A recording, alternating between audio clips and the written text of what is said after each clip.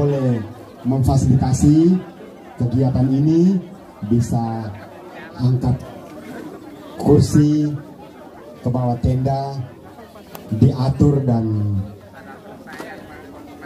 boleh kita sama-sama juga menikmati hari sukacita ini. Terima kasih Bapak Organis yang juga adalah Ketua Dewan Pastor Paroki Santa Maria Banula Oleba yang dengan gembira mengiring paduan suara pada pagi hari ini. Bapak Cekia yang adalah pemilik Hotel Lembata Indah. Itu karena dari Bapak Cekia.